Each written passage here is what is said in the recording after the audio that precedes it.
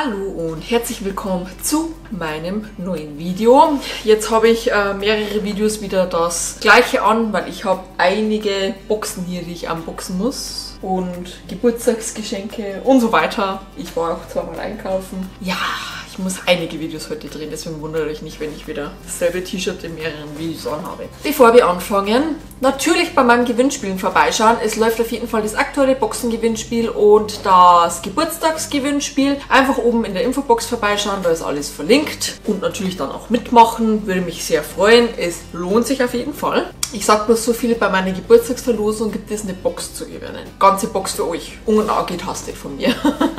Die neuen Unboxings fangen tatsächlich jetzt an. Die nächste Box ist dran, beziehungsweise die erste Box. Und es ist natürlich immer die Fairy Box. Ja, die Fairy Box ist angekommen. Die liegt tatsächlich jetzt schon etwas länger bei mir, aber ich komme bis jetzt einfach nicht zum Video drehen, muss ich ehrlich zugeben. Ähm, und ähm, dieses Mal hat sich wieder einiges verschoben mit dem Geburtstag und was weiß ich allem, beziehungsweise ich hatte Nachtschicht. Und Nachtschicht, da ist es immer schwierig. Ähm, ich hatte die lange Nachtschicht, das ist zwölf Stunden, dass ich da dann über Tag noch Videos drehe, ist eher unwahrscheinlich. Und dann nehme ich dann Videos, die von mir schon etwas älter sind. Ja, aber jetzt fangen wir an mit den neuen Unboxings, auch wenn manche vielleicht das schon auf anderen Kanälen gesehen haben. Ich packe es trotzdem nochmal für euch aus. Ich habe die Karte schon hier lese euch dann vor, was drin ist in der Box. So, ich fülle jetzt erstmal etwas die Dinge da hier raus. Und dann nehmen wir gleich die Produkte raus. Das erste, was wir haben, ist einmal von La Saponaria Bio Shampoo. Girasole, Gott, keine Ahnung. Orangenshampoo auf jeden Fall. Volkseed for dry and chemically treated hair. Okay, das verstehe ich. Weil ich denke mal, dass das italienisch ist oder so. Ist auf jeden Fall vegan und ethisch. Da ist ein Herz mit Ethik drauf. ja, ich lese gleich vor, weil ich kann euch da nicht wirklich viel dazu sagen, tatsächlich. La Saponaria Shampoo Sonnenblume und Süßorange. Hört sich auf jeden Fall schon mal mega an. Originalgröße 200 Milliliter. Das stimmt. 200 Milliliter sind das. Das wundervolle handgemachte Shampoo aus Italien. Ha, hatte ich recht. Spanisch war es auf jeden Fall nicht. Aus Italien verleiht deinem Haar Glanz, Geschmeidigkeit und verbessert die Kennbarkeit.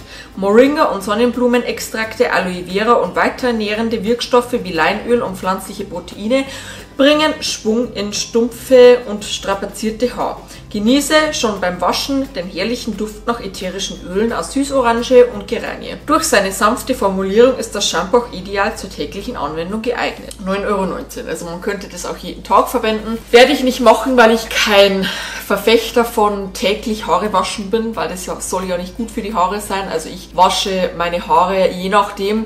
Wenn ich nicht schwitze zweimal in der Woche und wenn ich ähm, schwitze, dann natürlich öfter, drei bis viermal. Aber ich versuche es so gering wie möglich zu halten. Wir riechen aber mal dran. Also man riecht auf jeden Fall Orange raus. Das riecht für mich nach Orangenschale. Also richtig schön nach Orange. Nicht so der künstliche Orangeduft. Also ich habe jetzt gedacht, weil es süß-orange ist, riecht es sehr süßlich, sondern es riecht richtig schön natürlich nach Orange. Ähm, ich habe ja von Sante, ich glaube das war auch ein Shampoo oder ein Duschgel verwendet, das auch nach Orange gerochen hat. Und ich habe es geliebt und ich werde es auf jeden Fall nachkaufen. Und dann werde ich das vielleicht mit dazu verwenden. Dann haben wir was von Apeiron. Apeiron war ja jetzt schon ein paar Mal drin. Wir hatten mal das feste Shampoo drin, dieses Apfelshampoo und ich glaube noch irgendwas. Auf auf jeden Fall ist das das vitalisierende Rosenfluid. Uh, hört sich ganz gut an.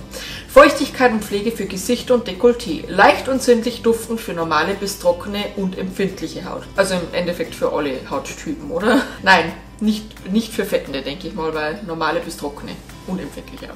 Ähm, gucken wir, was da drauf steht. Anwendung nach der Reinigung sparsam Auftrag und sanft verteilen. Okay. Verwöhnende und schützende Feuchtigkeitspflege für Gesicht, Hals und Dekolleté. Das erfrischend leichte Fluid nährt und beruhigt die sensiblen Hautpartien. Bewahrt vor Austrocknung und mildert Anzeichen vorzeitiger Hautalterung. Rosenblütenwasser ist drin, Mandelöl und Shea Butter verleihen neue Elastizität und Geschmeidigkeit für verführerisch duftende, strahlende, zarte Haut und einen Zeit seidig feines Hautbild. Ja, ist das jetzt Die Frage, ist es so ein, eher so ein Serum? Wann verwendet man so ein Fluid?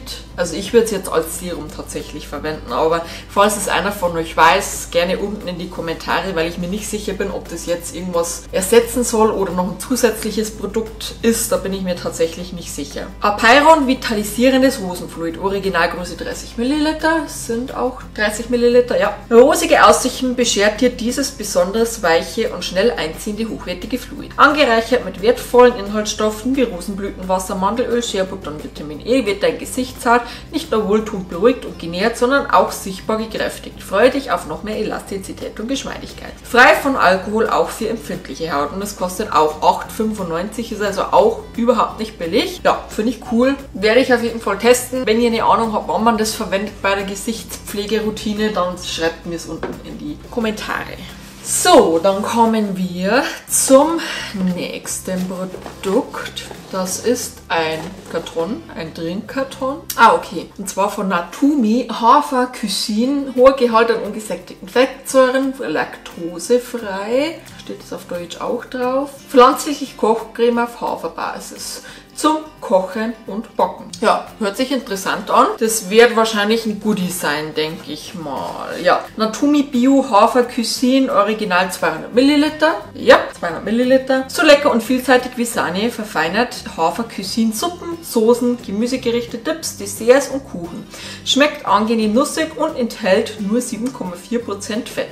Laktosefrei. Vegan und kostet 1,29. Die werde ich dieses Mal selber testen. Ich denke mal in eine Suppe rein, so eine Champignon-Creme-Suppe mal mit dieser Creme, glaube ich, also stelle ich mir echt gut vor. Dann gucken wir weiter. Haben wir etwas in einer Schachtel und zwar, gute Frage, das ist nämlich kein Deutsch. Night Hydration Solid Facial Moisturizer. Genau, also ein Facial Moisturizer. Ähm, lese ich gleich, was draufsteht, weil ich weiß nicht, was das für eine Sprache ist. Ich glaube, ähm, Französisch oder so. Ich kann es auf jeden Fall nicht lesen. Ja, es ist aber vegan und bio, also das kann ich schon mal lesen. Baume de Nude oder wie auch immer man das ausspricht, feste Nachtcreme. Originalgröße 40 Gramm. Das stimmt, ja. Wach mit einer hydrierten, weichen Haut auf. Absolut neu. Diese feste Nachtpflege für dein Gesicht kommt aus Frankreich und wird dich verzaubern. Wenn du die Bar langsam über dein warmes Gesicht gleiten lässt, wird deine Gesichtswärme die feste Creme schmelzen. Danach einfach alles wie gewohnt mit den Fingern im Gesicht verteilen und genießen. Trocken und kühl aufbewahren, heißen Sommertagen einfach drei bis vier Stunden in den Kühlschrank legen,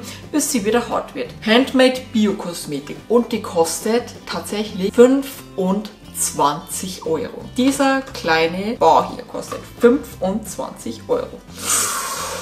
Ja, das ist sehr teuer. Aber werde ich super gerne ausprobieren. So eine feste Pflege habe ich tatsächlich noch nicht und werde ich sehr gerne testen. So, und dann haben wir drin ein Handmade-Säckchen. Das sieht ja süß aus. Gucken wir, was drin ist. Uh, wie süß. Der Oregano Food Balm von Handmade. Das ist ja putzig. Das sind, wie viel Gramm? Sehe ich gerade nicht, wie viel Gramm das ist. Steht auch auf Russisch hier drauf. okay, keine Ahnung. Lesen wir da. Um, Handmade Oregano Fußbalm Original 8 Gramm. Bedanke dich bei deinen Füßen, die dich durch den Tag tragen. Eine Fußmassage entspannt und ist eine Wohltat für den gesamten Körper. Der Oregano Fußbalm hat antibakterielle und antimykotische Eigenschaften und kann so Pilzinfektionen vorbeugen. Oregano wirkt pflegend, erweichend und auch erfrischend, da süßes Pfefferminzöl hinzugefügt wurde. Tipp: Am besten am Abend auftragen, damit deine Füße es voll auskosten können. Ja, hört sich interessant an. Kostet 6,70 Euro. Das ist jetzt, finde ich, in Ordnung vom Preis her. Eigentlich nicht, weil es so ein kleines Packaging ist, aber es muss ja dann gut sein, wenn dieses kleine Döschen schon 6,70 Euro kostet. Ähm, werde ich vielleicht selber verwenden, vielleicht werde ich es aber auch meinem Mann geben, weil der so trockene Füße hat, die jucken ihn immer und ähm, deswegen glaube ich, dass das schon was für ihn wäre. Aber da gucken wir mal, weil ich muss ja noch was an euch verlosen. Da, da suche ich mir aber auf jeden Fall noch was raus. Dann müsste noch ein Produkt drin sein, ja. Und zwar ein dekoratives Produkt. Das ist dann leer, das stelle ich auf die Seite. Wir haben ein Produkt von Boho. Und zwar ist es ein wunderschöner, glitzernder Lidschatten. Könnt ihr jetzt leider von da überhaupt nicht sehen. Ich finde das Packaging schon mal mega, mega. Das ist Papier. Hier oben ist Plastik drin. Finde ich mega cool und es ist so ein schöner, lila glänzender Ton. Boho Eyeshadow Plum, Originalgröße 2,5 Gramm. Diskret und doch original werden deine Augen mit der Farbe Plum reflektieren. Der natürliche Lidschatten in Profi-Qualität mit hohem Pigmentanteil ist leicht auszudrücken, betont die Augen und lässt sie strahlen. Kostet 9,50 Euro. Das ist ganz schön teuer für so einen einzelnen Lidschatten. Da bekomme ich ganze Paletten dafür. Aber werde ich auf jeden Fall super gerne testen. Das hört sich auf jeden Fall sehr interessant an. Von Boho habe ich noch gar nichts. Ich weiß ja, dass die öfters in der Box drin sind, aber ich habe tatsächlich noch gar nichts. Ja, finde ich cool. Wir gehen nochmal alles schnell durch und ich gucke, was ich an euch verlose. Wir haben einmal von Handmaids diesen Fußball, finde ich mega cool und den muss ich leider behalten, weil wenn ich nicht verwende, dann wird ihn auf jeden Fall mein Mann verwenden. Dann haben wir einmal die Nachtpflege. Ich finde die so interessant. Die kann ich euch leider auch nicht geben, weil ich unbedingt die feste Nachtpflege probieren will. Dann haben wir einmal die Natumi Haferküssin, die werde ich auf jeden Fall auch testen. Dann werde ich ähm, auf jeden Fall testen den wunderschönen Eyeshadow in dieser schönen glitzer-lila Farbe. Bin ich echt gespannt drauf. Was ich an euch verlosen werde, ist von Apeiron dieses vitalisierende Rosenfluid. Würde ich da zwar tatsächlich selber gern verwenden, aber ich habe so viele Gesichtspflegesachen, dass ich das an euch weitergebe. Das kostet, wie gesagt, 8,95 Euro, also knapp 9 Euro. Ich hoffe, ihr freut euch drüber. Würde ich so gerne selber verwenden, aber es sind dieses Mal so viele tolle Sachen drin, die ich alle testen will. Ähm, dann gebe ich euch diese, weil Nachtpflegen habe ich noch nicht so viel, aber Tagespflege habe ich schon einiges drüben. Deswegen geht das an euch. Und dann werde ich auf jeden Fall verwenden das Bio-Shampoo von La Saponaria. Einfach weil wir Shampoo das, das brauche ich schneller auf wie jetzt Gesichtspflegesachen, deswegen bleibt es bei mir. Und ich liebe Orange. Werde ich sehr, sehr gerne testen. Dieses Rosenfluid, auch wenn ich es gerne, super gerne selber testen würde, geht auf jeden Fall an euch und dann könnt ihr das testen. Die Box hat auf jeden Fall einen Gesamtwert von 60,63 Euro. Ist also auf jeden Fall wieder eine sehr, sehr wertvolle Box, muss ich sagen. Und das war's mit dem Video. Ich muss sagen, ich bin mega begeistert von der Box. Das waren dieses Mal sogar mehr Produkte. Insgesamt hatten wir sechs Produkte drin und meistens sind es ja so vier und maximal noch ein Goodie. Aber dieses Mal sind es sechs Produkte und ähm, ich kann mich nicht beschweren. Es ist wirklich nichts dabei, wo ich sage, äh, könnte ich gar nicht gebrauchen. Auch das Rosenfluid würde ich, wie gesagt, sehr gerne verwenden. Aber ich habe schon so viele Tagespflegesachen, deswegen geht es an euch. Mega coole Box. Also wenn ihr euch für so Bio-Sachen interessiert, für vegane Sachen und natürlich tierversuchsfrei, dann Schaut euch auf jeden Fall die ähm, Fairy Box mal an. Die hat so schöne Boxen. Also ich bin bis jetzt kein einziges Mal enttäuscht worden tatsächlich. Es waren immer tolle Produkte drin, toll zusammengestellt. Also ich kann mich nicht beschweren. Ja, das war's dann mit dem Video. Wenn es euch gefallen hat, sehr gerne einen Daumen nach oben da lassen. Sehr gerne einen Kommentar da lassen, was ihr von der Box haltet und ob ihr euch über das Apeiron Rosenfluid freut. Natürlich auch oben bei meinen Gewinnspielen vorbeischauen. Wie gesagt, das aktuelle Boxengewinnspiel und das Geburtstagsgewinnspiel. Und natürlich könnt ihr mich mich auch kostenlos abonnieren, wenn ihr wirklich kein Video mehr von mir verpassen wollt. Einfach unten auf den Abonnieren-Button oder ihr klickt einfach auf der Seite, wo jetzt dann mein Gesicht erscheint drauf. Und dann hoffe ich, dass wir uns beim nächsten Mal sehen. Ich wünsche euch einen wunderschönen Tag, eine wunderschöne Woche und bleibt gesund. Tschüss!